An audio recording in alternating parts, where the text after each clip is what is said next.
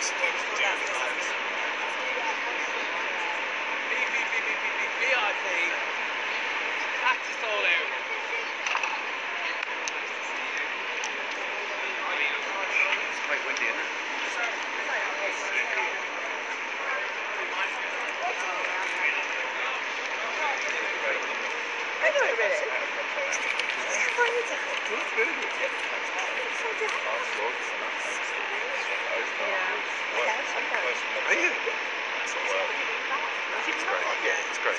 20 years after being a band and then you know releasing what we feel is one of the, the strongest album we've ever made um, No, me to do, to do, look, look, oh, there you go, there you go. You can, you can see what it is, lads. that's it There you go. Big smile, Maggie. Doing the wee cozy one.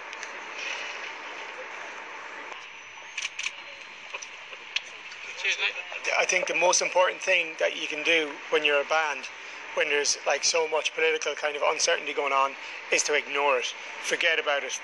Westlife playing Wembley Stadium is for everybody to take their mind off of that, including us. Good point. You know, it's got you know, let them do with that. We do what we do. Let the politicians We play what Wembley, do. the politicians We'll play Wembley. that. problem is the politicians aren't doing what they're supposed to be doing over here. the that's We'll not still be playing. Wembley. We'll still be playing Wembley. Westlife is the night out you have after a stressful week at work, you know. Forget Brexit and come for a night out at Wembley Stadium.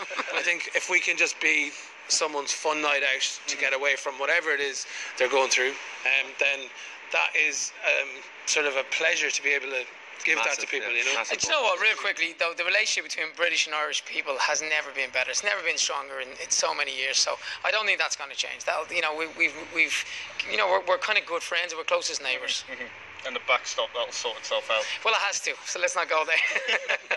It suddenly became very, very real, you know, walking in the door, um, if you call that a door, it's a very big door, um, and just seeing this place. Um, I've personally never been here before, so just to look around and, you know, we have a feeling of what it's like to do a stadium gig because we've played um, Croke Park back in Dublin in Ireland a few times, but to reach that level in the UK, you know, um, it's actually quite emotional because we've been, you know, we've had a huge relationship with the UK for 20 years or more now. And I suppose when we got back together, one thing we wanted to do was achieve new things and get bigger and better. Instead of just looking back and being nostalgic, uh, we wanted to break new records or whatever. And this really for us is a, is a completely new stratosphere to get into in the UK to play stadium. we had to pinch ourselves today. We really did. And when when it was suggested that we do this place, it was like.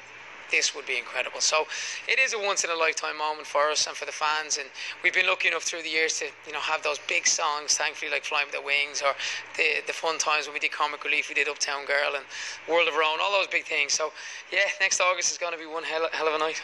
You know, I think the time away actually did a lot for us individually, you know, because you had to learn how to stand on your own two feet. You know, we were we were babies, like we were like teenagers when we started Westlife, and we didn't know anything but having, you know, the lads around you and, and kind of being a band. We didn't know what it was like to be an individual. I think the best thing for our career that we've ever done is split up.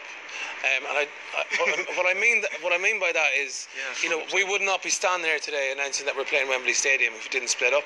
Um, and I think that um, the, the the lesson that we learnt is that moving forward, our plan is slightly different to that. You know, more sort of one-off situations. You know, we're around for a little while, but we're not going to be around all the time, every year, album, concert, album, concert.